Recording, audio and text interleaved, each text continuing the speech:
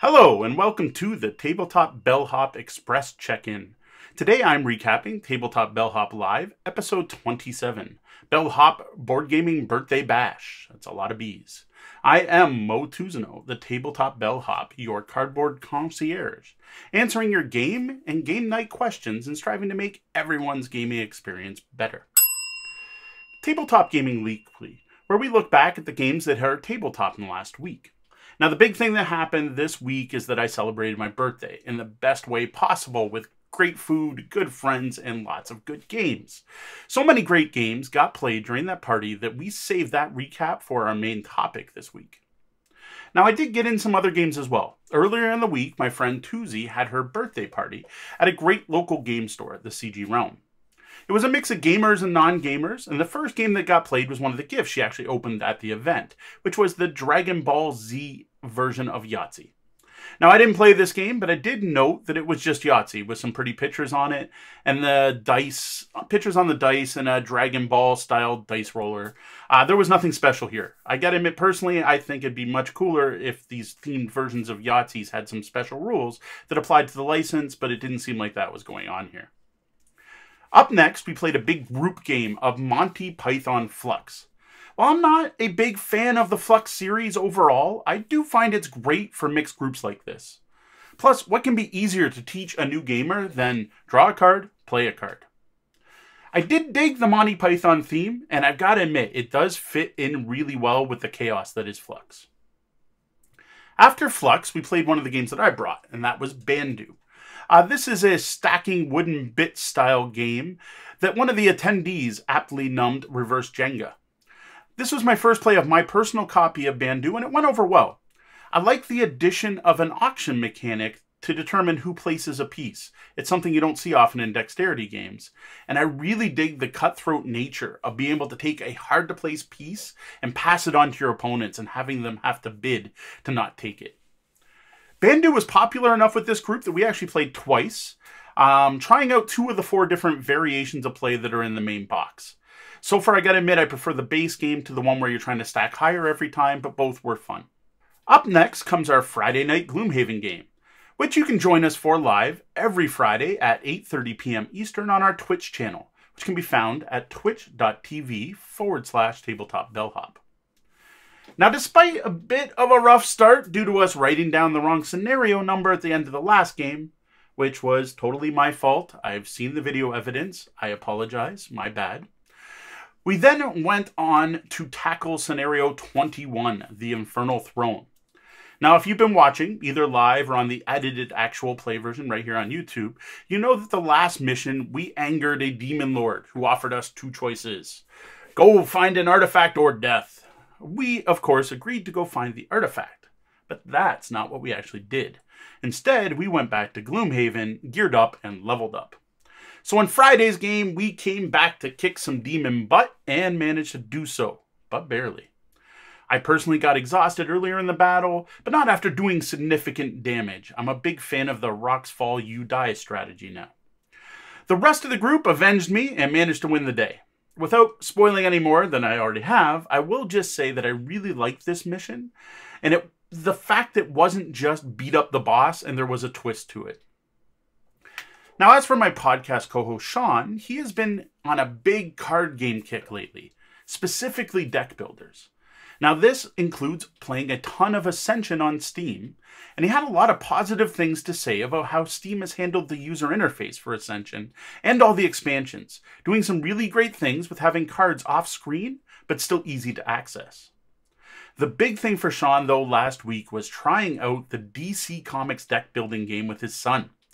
This went over extremely well, with his son really liking the semi co op nature of the game and the fact that the players don't battle each other, but rather are competing to do a better job of beating up the villains. Now, for a more detailed look and discussion of all these games we just mentioned, be sure to check out the full podcast when it goes live Tuesday mornings.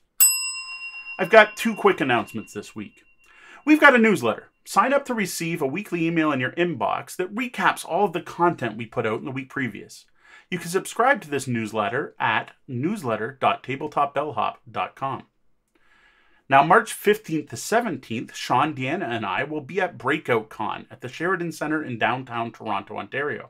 This is a fantastic, smaller, yet growing con that features all forms of analog gaming RPGs, LARPs, miniatures, and a fantastic board game room with a huge game library. If you're going to be at the con, be sure to stop by and say hi, though please don't be upset if I don't remember or recognize your name. I am terrible with names. Ask the Bellhop. We're here to answer your gaming and game night questions, normally. But this week, we're taking a break from your questions to recap the ridiculous number of games Sean and I played as part of my birthday bash that happened this past Saturday. Gaming that day started off with a two player game of Ticket to Ride New York, just between Sean and I. And it's always awesome to actually get the game with Sean in person. Like he lives in Hamilton, I live in Windsor, and despite being in the podcast together, we are not local to each other anymore. And it was cool to play something just me and him before the main festivities started. Now, Ticket to Ride New York is a smaller micro version of Ticket to Ride designed specifically for two to four players. You only have 15 destinations, and routes are a maximum of four spots long. Players are playing cabs and other public transit instead of trains. It plays nearly identical to the full game with one extra scoring round for connecting to special tourist attraction spots on the board. I gotta admit, I was very impressed by this game. It manages to give you that full ticket to ride feel in under 15 minutes. Yes, under 15 minutes. Up next, we move to the CG Realm. Now, I'm going to take a quick moment to call them out for doing something awesome. The CG Realm is a local game store here in Windsor. Starting this year in January, CG has agreed to donate $1 per person who attends any of their weekend tabletop gaming events, which happen twice a month on the second and fourth Saturday of each month, to our 2019 Extra Life efforts. Huge thank you to CG Realm for doing that. You guys are awesome. So the first game up at the game store was Scoville. This was obviously inspired by our 4 to 6 player after dinner game topic last week where this game came up. In Scoville, players are chili pepper farmers who buy, plant, and crossbreed peppers in order to fill market orders and make the hottest chili possible for the chili cook-off. This game was even better than I remembered. It's easy to teach, rather cutthroat, and engaging for all players, even at the max player count. I'm really looking forward to getting it to the table again soon and trying out the Labs expansion, which lets you mix your own peppers not on the main board. Up next, I finally got to sit down and play a game with a fan of the show, Kevin, or Tech2674 from the lobby, our live show chat room. We've met a couple times, but never actually gotten to sit down and play a game together until now. That game was Gizmos. It was myself, Kevin, Kat from our Gloomhaven stream, and Sean. I'm still really digging Gizmos. I'm very glad I got this one for Christmas. It's not one I picked out myself, I got as a gift. And I am really glad to see that despite the number of times I've been playing this in a short period, there doesn't seem to be a dominant strategy. And I don't seem to be dominating by having played it more than other people.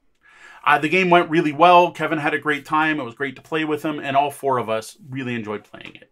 After Gizmos, we took a look around the store and noticed everyone was busy playing something else. So we had the four of us still, and we grabbed a four player game. I took this chance to grab Azul, Stained Glass of Sintra. Now, this is my second time teaching and playing the game, and it went so much better the second time. Having played before, I could better explain some of the interactions in the game, and more importantly, how scoring worked. The game itself just played better as people had a better grasp on what they should be doing. This play definitely raised my opinion on Sintra. It's, it's moving up the ladder there. Though I gotta admit, it's still not approaching the love I have for the original Azul. At least not yet. I don't know if it'll get there. After Azul, Stained Glass of Sintra, we mixed up the groups. Everyone kind of moved around. I know a Terraforming Mars got, game got going and a couple other stuff was going. A friend and local gamer, Scott, joined my table and offered to teach Railroad Ink., specifically the Blue Edition. Now, I've been hearing really good things about this roll and write and jumped at the chance to check it out. Railroad Ink. is a transit based roll and write where four dice are rolled, and everyone at the table has to use those dice to fill in a dry erase board with a 7x7 grid on it. Players are drawing rails and roads, trying to build routes of both types of transit systems. Points are scored for connecting exit points, longest road, longest rail, and then points are lost for incomplete routes. It's very quick and easy to teach with a lot of fun decisions.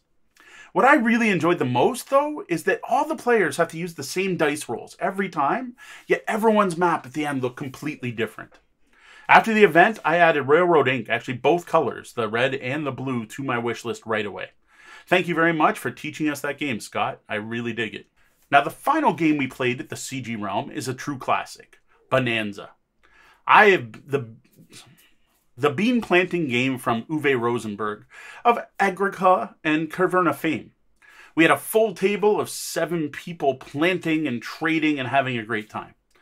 Bohnanza has been one of my favorite big group games since it came out in the 90s, and I was really pleased to see that it's still as much fun as it was back then, even if we didn't take the game very seriously at the event.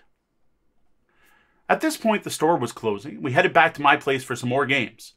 The first of which was more Bandu. I set up a six player game just using the original rules, the basic auction rules. Again, I had fun with it. I really dig the pieces, which I guess have actually changed significantly between editions of the game that have come out over the years. The parts in my particular copy, the latest printing, are extremely well made and contain some really interesting shapes. Now, this game with a bunch of gamers was way more cutthroat than any previous one I played, and most of the game was all about people passing horrible pieces to the person next to them and making them have to make do with it. It was a lot of fun. Now, over in another part of the room, Sean, my wife, and a couple of the other guests set up Valeria Card Kingdoms.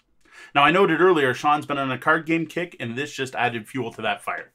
He noted that he really enjoyed the game, but did have a few minor complaints about the final scoring rules with the Dukes, both in regards to the grammar used on the Dukes and the power of at least one of the cards. So that is something to watch for.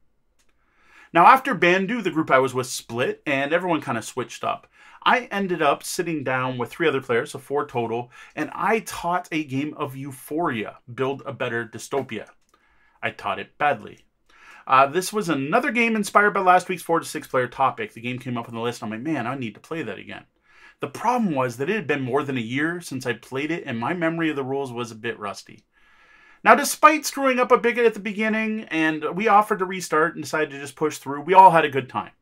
The game is as good as I remember, especially once we started playing with the proper rules.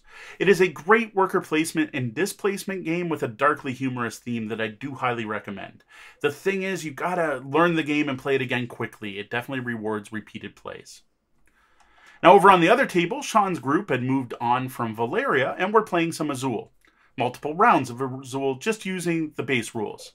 Now, Azul never fails to disappoint, and I hear these plays were both very social, but also rather cutthroat, especially based on some of the language I heard from the other side of the room. Back at my table, Euphoria was followed by Egizia, one of my favorite games of all time. This is an Egyptian themed worker placement game with a cool placement mechanic. Each turn places players place boats onto spots on the Nile. The thing is, your first boat is placed, your next one has to go further down the river.